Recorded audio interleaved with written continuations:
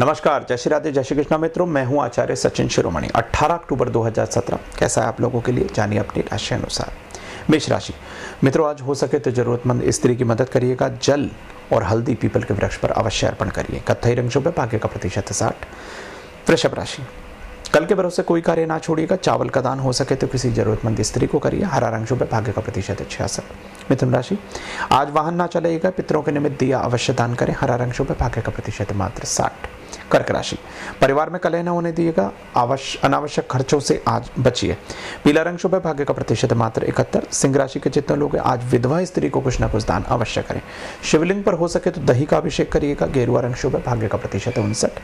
कन्या राशि के जितने लोग कार्यों में आज रुचि जो है वो घट सकती है, अपने गुरु का सम्मान करें, उन्हें कुछ वस्त्र या पुस्तक उपहार अवश्य दें। काला रंग शुभ रहेगा, भाग्य का प्रतिशत रहेगा इकसठ। तुला राशि। मित्रों, आज अपने बड़े बुज़ुर्गों के चरण स्पर्श करिएगा। कुटुंब में प्रेम पहले से बेहतर होगा। पीला रंग शुभ है, भाग्य का प्रतिशत है मात्र इकहत्तर। बताएँ आपको वृश्चिक राशि के बारे में। सेहत का ध्यान रखिएगा। मान सम्मान की प्राप्ति अवश्य होगी। लाल रंग शुभ रहेगा, भाग्य का प्रतिशत रहेगा मात्र साठ। धनुराशि। मित्रों, आज मन में खुशी की लहर दौड़ेगी लेकिन करना क्या है? अपने बड़े बुज़ुर्गों का सम्मान करना है, अपने पिताजी का सम्मान करिएगा। नीला रंग शुभ रहेगा का प्रतिशत रहेगा मात्र इकहत्तर। मकर राशि। मित्रों, आज कार्यों में थोड़ा सा विघ्न आ सकता है। कानून का भरपूर सम्मान करिएगा, हरा रंग शुभ है भाग्य का प्रतिशत मात्र पचपन। कुंभ राशि।